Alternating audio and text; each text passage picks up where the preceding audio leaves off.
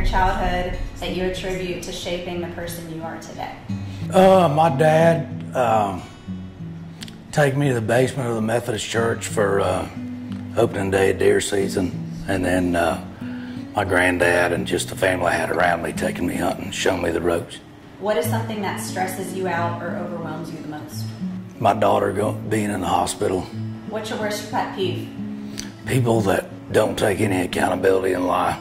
The world sees you as a celebrity, but how do you view yourself? I just sing country music and hunt stuff.